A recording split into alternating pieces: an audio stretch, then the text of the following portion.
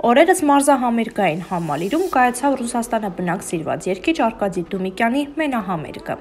Լեփլեցուն դահլիճում հավաքվածներին Արկադի Դումիկյանը անակնկալ մատուցեց նշելով, որ համերգի գնված տոմսերի ամբողջ հասույթը ուղղվելու է հիվանդ երեխաների առողջացման համար։ Օրերս Արկադին մասնակցել է հարսանիքի որպես հարսանիքի խավոր։ Տեսանյութ է հայտնվել համացանցում, որտեղ երևում է թե ինչպես է գումար տալիս դուռ պահողին, որպիսի դուռը բացի։ Ներկայացնում ենք տեսանյութը։